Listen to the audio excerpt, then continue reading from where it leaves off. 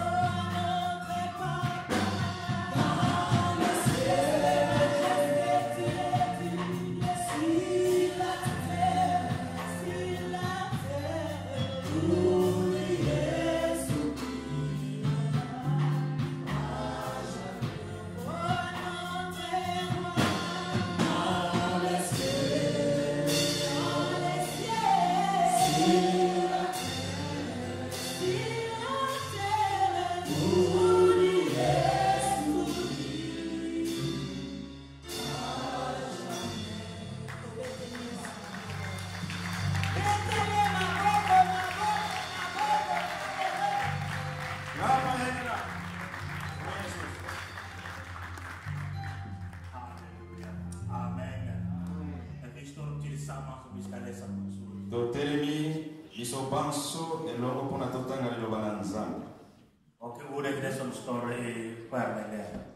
ezali deja presente na liboso wana tozomona yango na ekran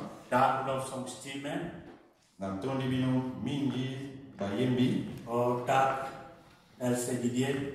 mpe lisusu moderateur papa na biso didier natondi mama na biso pasi na mama ester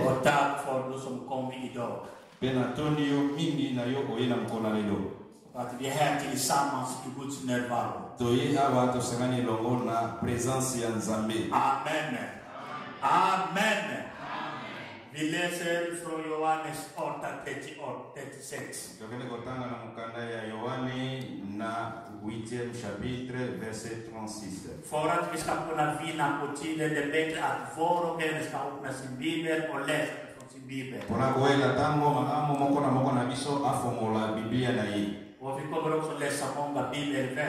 pe tokotanga ba verse ebele. Eh, zala na Bible no penza ezala disponible. Biblia elobi na biso boye. Yohanes 8:36. Mokanda ya Jean 8:36. Omne sone dior er fria, blirni vertigen fria. Soki mwana moto bakangoli bino bokokoma mpenza ya solo libre. Donc si donc le fils de vous affranchit, vous serez réellement libre. Alléluia. Inte bora free mene vertige free.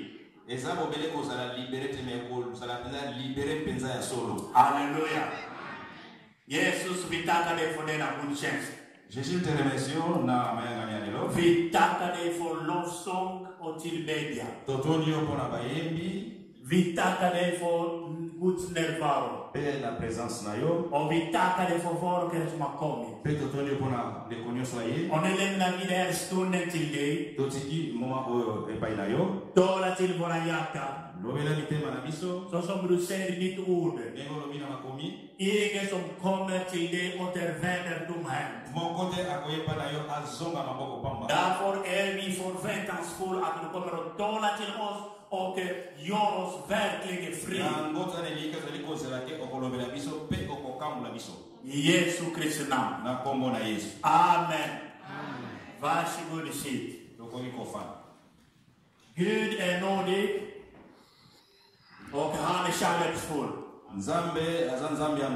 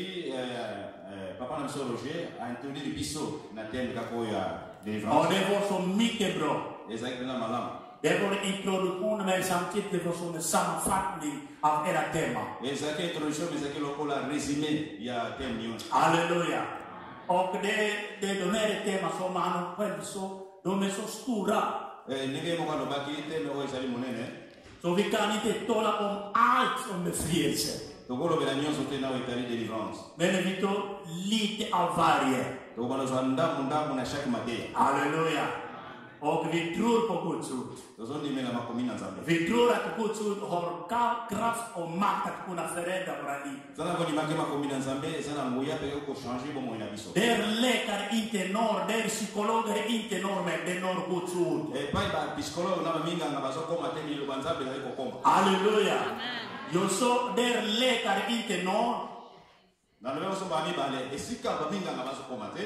Psychologer i tenor. Na ba psychologue. Wetenskap i tenor. Na ba ba scientiste. Men Guds ord når. Men lo ba Nzambe ezo koma. Halleluja. Ezali kwa tena. Halleluja. Fraternität och kraftfull revolution. Tonda na nguya.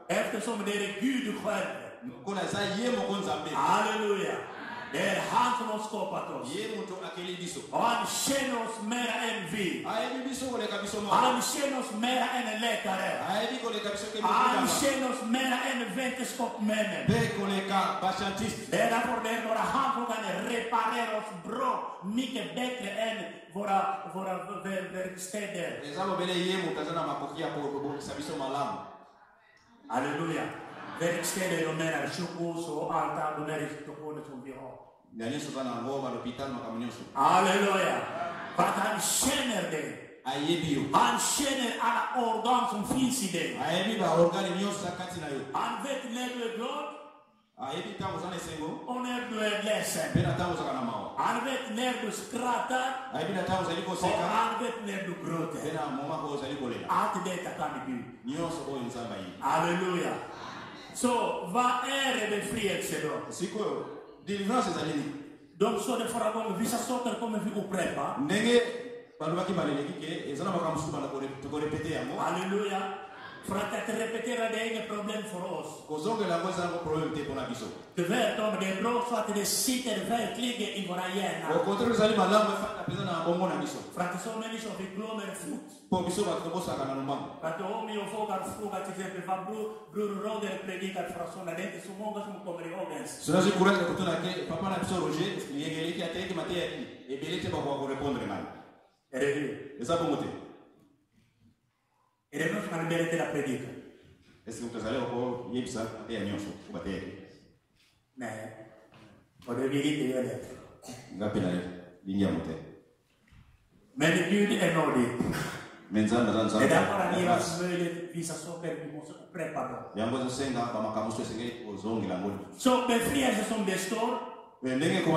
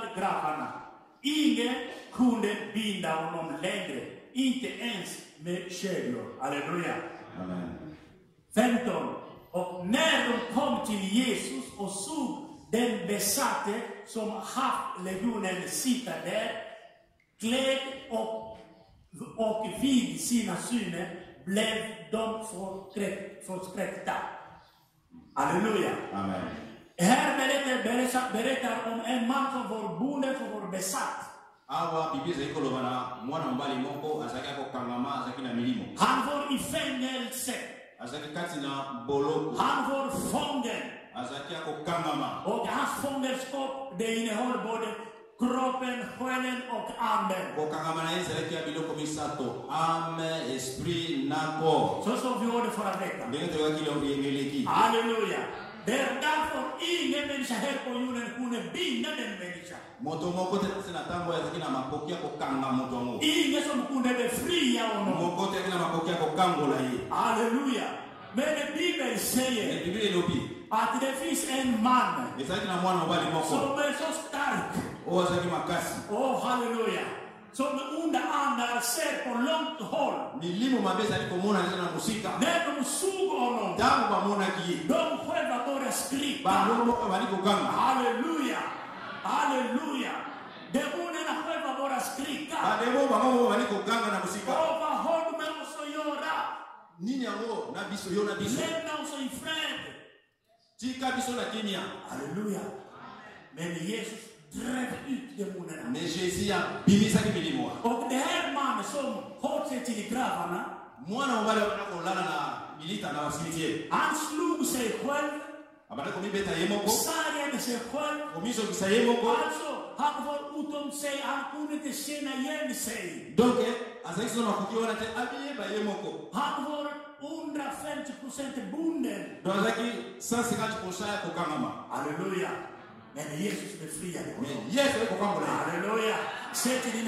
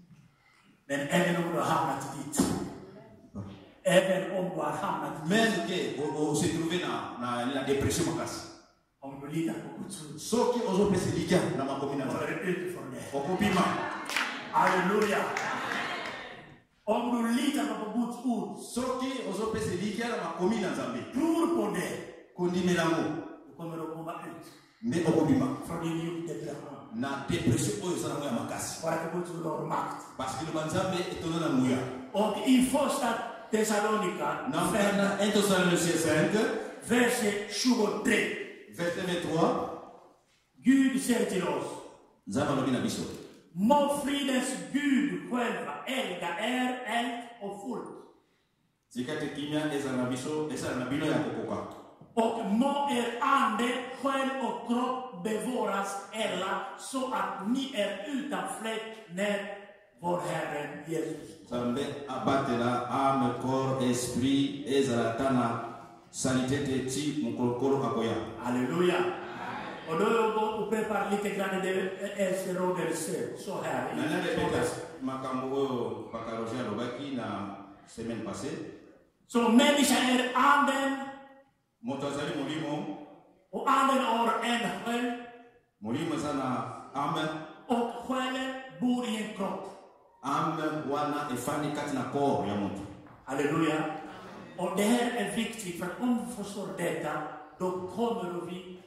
Veta, ilo tika vibe, nere kuisa probleme kome kurani. Eza vraiment moto ya soso sile makambo yo, neto koyeba, kobondela soki makambo eyeli yo na bomoi na bomoi na yo. Bate visa probleme home kope me yora. Eza makambo susu etala eh, etalaka makambo ya nzoto. Visa probleme home kope me yora. Mosusu etalaka ame.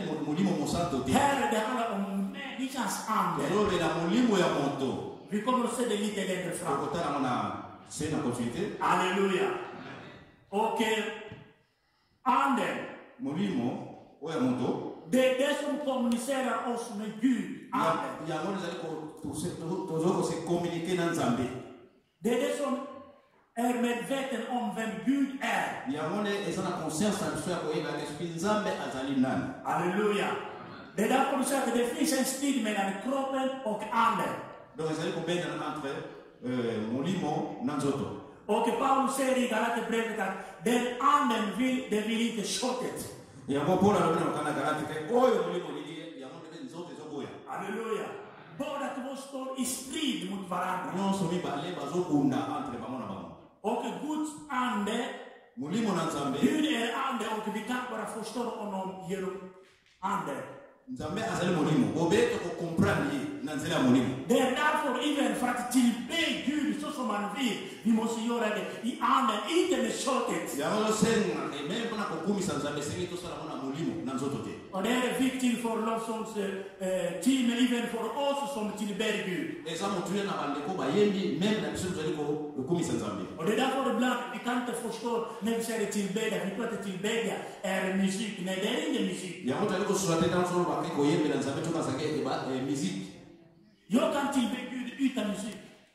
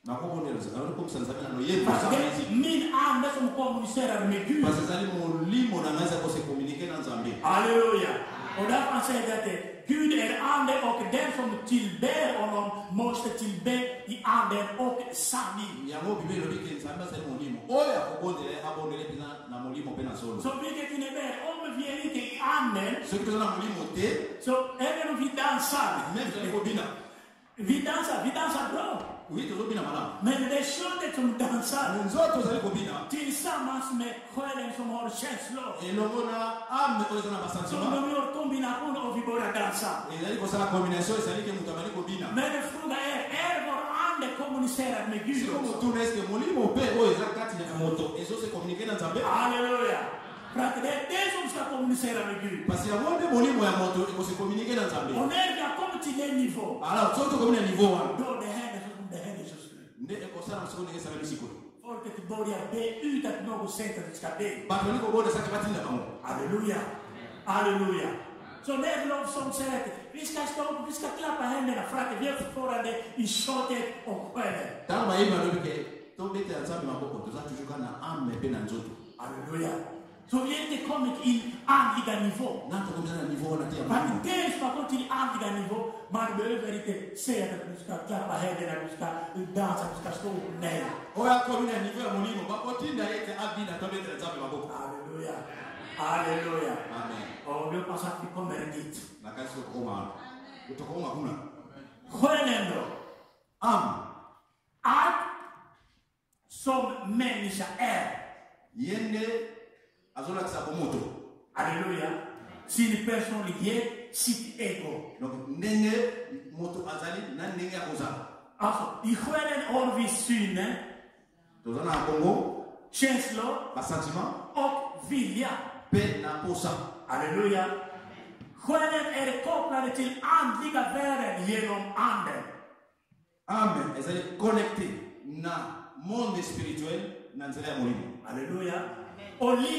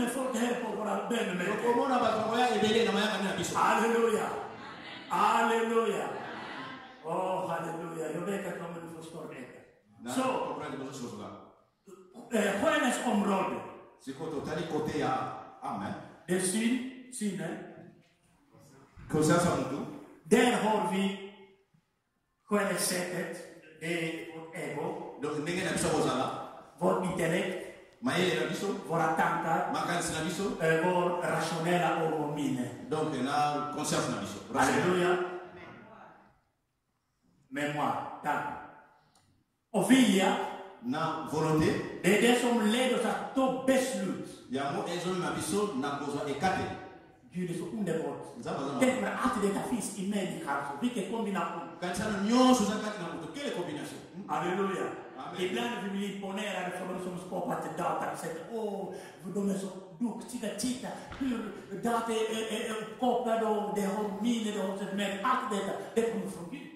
totango tozomona bato basali bordinatere tozo kokama mpenza o oh, vraiment baza mayele me pamba te nyonso wana euti epai na nzambe alleluya osene bonne richesse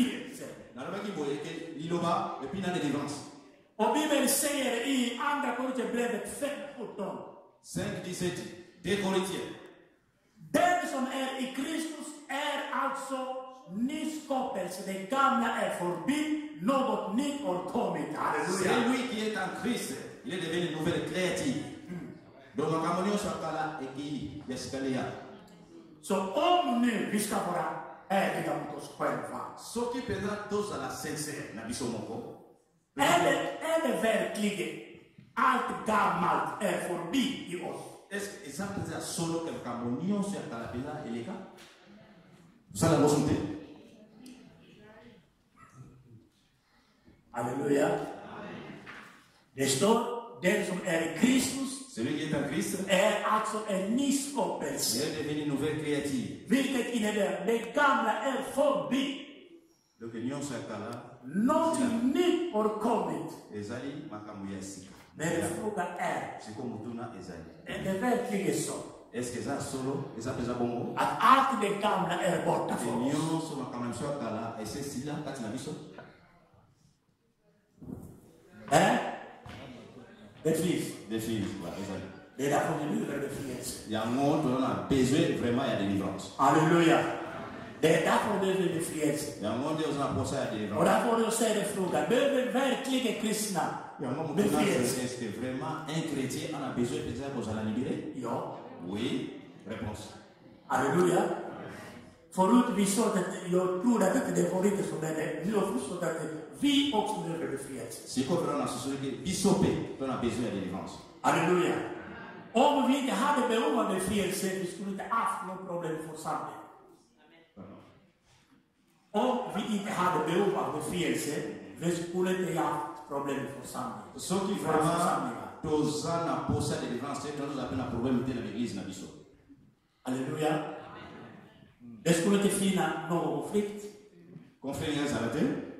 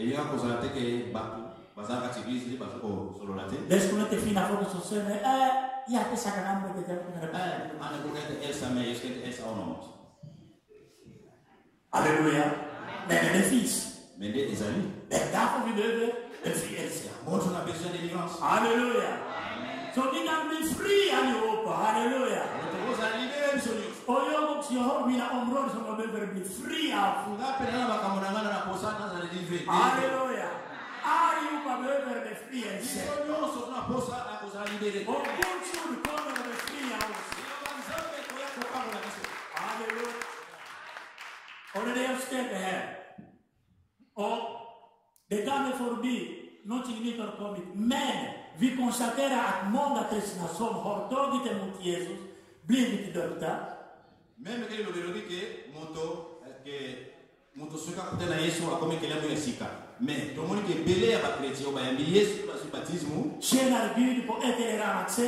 Bazosepeli Nzambe na bandenge nyonso. En de visa at de fils for and gamla soter som dom bever bli avne.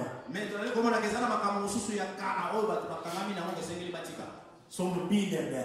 Oyo ezali kokanga bango. Vilika ya dome sotera. Nini yango makambo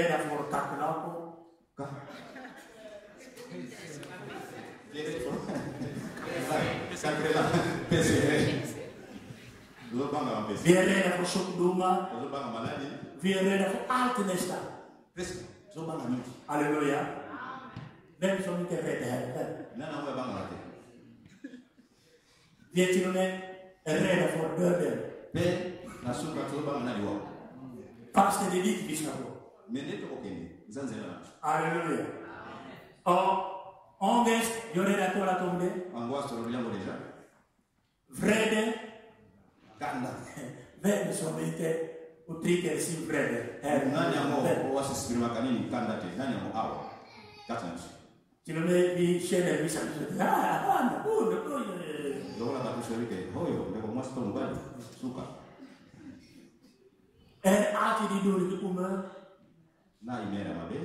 Alléluia. So du ser en kristen. Ozomona en chrétien. Det är sällan hon eller han skrattar. eza mwa mpasi omona mpenza te ye mwasi to mobali azoseka donc eza mpasi mokretier aseka ta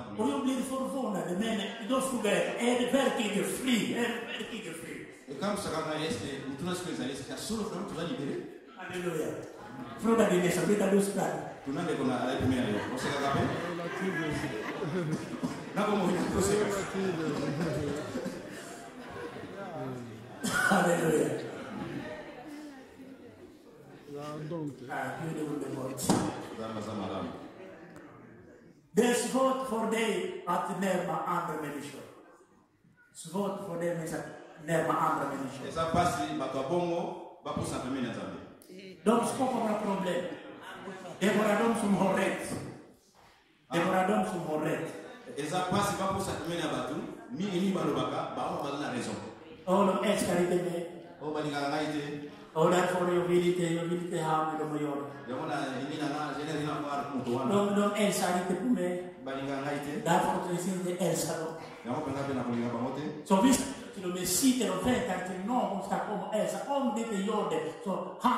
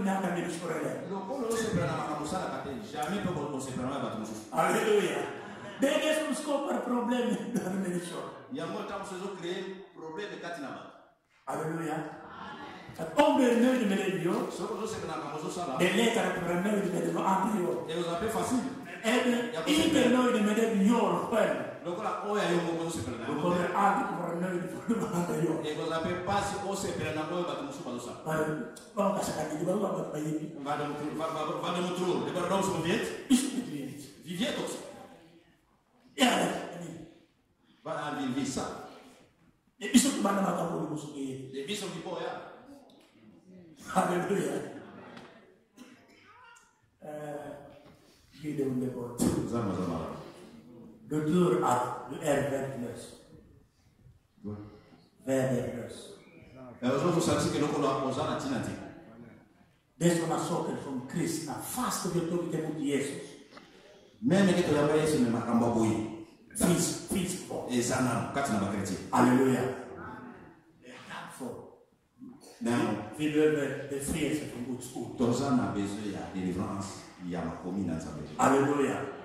Frate, nel vi torna om tema de free is vi si tarite for folk che cazzo vorrà come dere ute. Tango tozo loba likambo ya delivrance, tozo lobela bato baza libanda te. Mais victoire na bango onso onso. Tozo loba mpe na biso. Alléluia. Amen. Bravo Yesus your free. Soki Jésus akangoli. Donc tu es vers qui est free. Nde tokoma vraiment réellement libre. Oh, homme vient vers qui est free. Soki mpenza toza libéré. Likambo se ebele frère de livre ensemble. Tokomona mpe changement na église na biso. Alléluia. Alléluia. Frère Deborah, be free and many shop.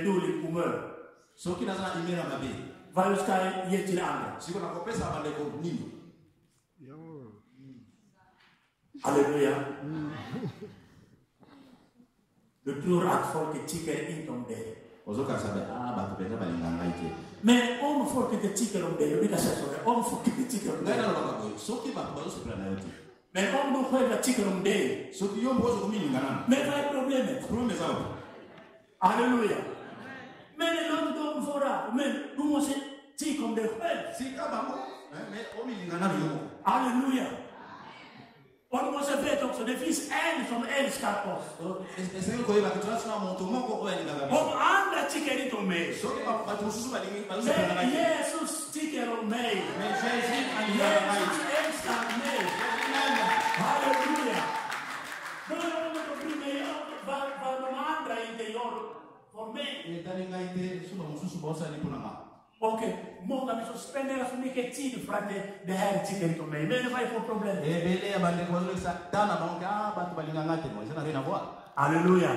Fruit da her bora chicken de kwa. Siko mutuna zali. Esko omilinga kayo mo.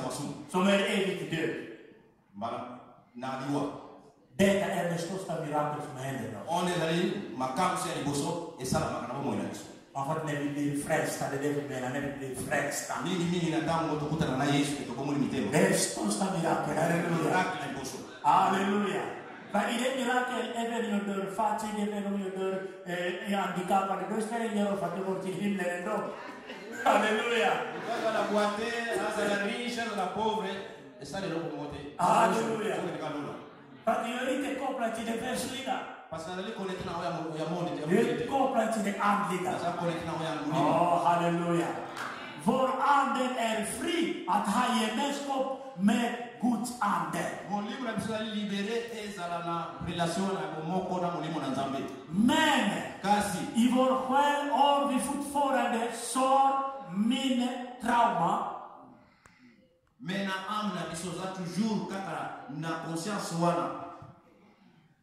Mine sort of trauma. Son vya koti yema. Na makambo oyo to to vivre avant que to bongola mitema. Alors en des things on vit les blessures. Mais tant que là, masumu. Dere so bible verbi free. Ya mo senga sikoto za libere na. Osel.